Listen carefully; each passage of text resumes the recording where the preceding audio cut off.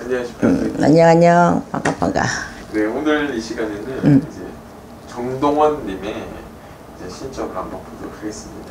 하하 뭐요 어린 저기가 많이 동원이가 구비구비 많이 어린 나이에 겪었지만은 그래도 동원이는 그래도 복이 있는 거야 왜 복이 있냐 다른 복이 아니야 이랬든 저랬든 부모가 그래도 좋은 목을 내줬으니까 복이고 또 돌아가신 할아버지가 이제 우리가 이렇게 얘를 딱 사주로 봤을 적에는 진짜 얘는 조상의 덕이 많고 돌아가신 돌아가신 할아버지가 진짜 동원이를 도와주는 것 같아. 도와줘. 왜 도와주냐? 여지껏 많이 힘들었잖아. 힘들고 그랬기 때문에 마음고생을 덜 하게끔 하는 건데 이 뭐여 어린 나이에 이렇게 뭐여 성공이라면 성공이거든. 근데 앞으로가 중요하잖아. 앞으로가 중요하고 얘가 이대로 잘 커서 나가야지 되는데 사람이라는 건 모르거든. 너무 갑자기 어린 나이에 막 올라갔다가 어떠한 얘- 얘한테 진짜 이안 좋은 일이 닥쳤을 적에는 실망이 크거든.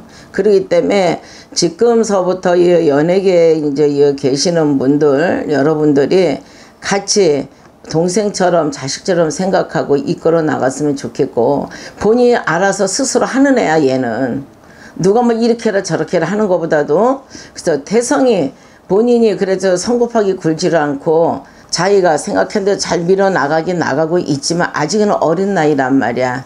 어린 나이고 또 뭐요 들리는 소문에는 참 말이 많아. 이 어린애가 뭐 어떠한 충격이면 충격이겠지.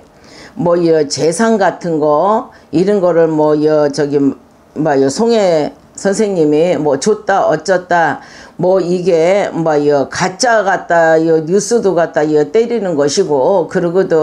그럼 어른애 가지고서는 그러면 안 된단 말이야. 그치? 뭐를 얘한테 갖다 진짜 그렇게 해서 여 줬다고 하면 재산을 물려줬다고 하면 얘가 그만큼 뭐 사회복지에 쓰든 어쨌든 그렇게 할 수 있는 애기 때문에 그렇게 했겠지.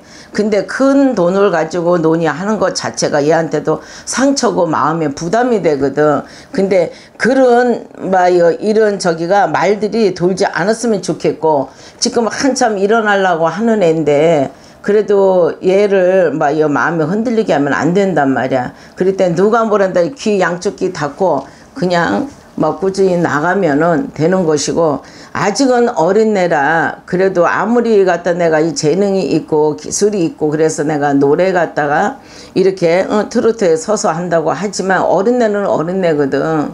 그러니까 이 애가 잘 갈 수 있게끔 부모님이 갖다 잘뭐 선동해서 해줘야지 되는 부분이고 또 요, 얘가 큰 인재잖아. 인재기 때문에 앞으로는 뭐요 그래도 좋은 일만 있고 그렇지만 그래도 18살 돼서 요때는 한 번쯤 마음이 좀 흔들릴 수가 있는 그런 계기가 올 거야. 그 요거만 잘 넘어가면은 큰 문제는 없어. 얘가 여지껏 살면서 이 저기 여 연예계에 이렇게 들어서 가지고 그렇게 나쁜 거는 없거든. 나쁜 건 없는데 얘가 욕심이 많아. 욕심 많아서 자기가 하고 싶은 거꼭 해야지만 되는 성품이거든. 근데 그게 잘 안 됐을 적에는 자기도 모르게 좌절에 빠질 수가 있단 말이야. 그럴 적에 주위에서 그렇지 않게끔 끌어주고 하는 것이 그게 인간의 도리가 아닐까 싶어. 앞으로 뭐 여- 얘는 그렇게 걱정할 건 없어. 누가 도와도 도와주고 자기 스스로가 일어서고 이제는 뭐여 단단한 틀이 되어 있으니까 더 나쁜 길로 여 가지 않고 자기가 마음을 그대로 잡고 일어나가는 그런 연예인이 됐으면 좋겠고 그리고 사람들이 주위에서도 또이 많이 도와주려고 해. 얘가 어, 예능 계통이면 예능 계통이요. 다 그냥 뭐든지 얘가 다 들어서서 할 수 있게끔 한단 말이야. 그리고 이 신곡도 그렇고 어, 신곡도 나와서 얘가 이제 히트 칠 수 있는 곡이 또 나오고 그러니까 뭐 그렇게 뭐큰 문제는 되지는 않아. 문제는 되지는 않고 주변에서 그래도 얘가 인 덕이 있으니까 그 덕으로 본인도 잘하지만 인덕이 있어서 얘가 승승장구할 수가 있는 거지. 응. 승승장구할 수가 있는 것도 나이가 차고 이제 군대 갔다 오고 그러면 모든 것이 완벽하게 자리 잡히지 않나. 어. 뭐 그렇게 뭐 이거 크게 걱정할 사람들은 사람이 안 되는 거야. 참. 나이가 음. 어, 어리다 보니까 이제 변화가 좀 많을 것으로 예상이. 그렇지 변화가 있지. 그러니까 18살이 지금 최고 이제 요때가 이제 한번 얘 마음이 좀 흔들릴 수가 있거든. 그러니까 그거만 잘 잡아주면 되는 거고 막말로 얘한테 스폰서 노릇하는 사람들도 있을 거고 말하자면은 팬클럽들이 막 이러잖아. 그래서 근데 너무 이제 여 그렇게 기대들이 큰데다가 얘가 그 기대에 못 미치면은 또 사람이 순식간에 잘할지기는 막 칭찬하 조금만 잘못하면 아주 그냥 저기 하잖아. 그러니까 그런 거에 어린 애가 상처를 입- 입을까 봐 이제 그게 걱정이거든. 어. 근데 그거는 이제 동훈이가 잘 알아서 하겠지. 그리고 아무리 어리다고 해도 속은 깊은 애거든. 그렇기 때문에 요놈만은 그래도 크게 출세는 한다. 그렇게 뭐 썩은 나쁘고 뭐 그런 건 없어. 어른애라 걱정하는 거 어느 누구나 다 걱정을 하는 거야. 근데 얘는 그래도 꾸준하게 자기가 잘 컨트롤을 해서 잘 나가. 어, 잘 나가니까는 뭐 큰 인물이 되고 그러니까 뭐 그렇게까지 뭐 여- 걱정하고 걱정해 주는 것도 고맙지. 이제 자기가 알아서 판단하고 단 걱정이 된다면은 부모가 이제는 뭐이 자식을 위해서 진짜 뭔가 희생양은 아니거든. 자식으로 해서 얘가 잘 똑바로 갈 수 있게끔 짐이 안 되고 크게 갈 수 있게끔만 부모 역할도 크지. 그 주변 사람들이 많이 도와주려고 하기 때문에 뭐 여 얘는 뭐 여 막말로 갖다 왜다 섬에 갖다 놔도 살아. 그 정도로 뭐 여 먹을록이 물록 많고 자기 얘가 여 어, 재간이 있고 끼가 있기 때문에 그 끼는 그대로 발동해서 승승장구할 수가 있거든.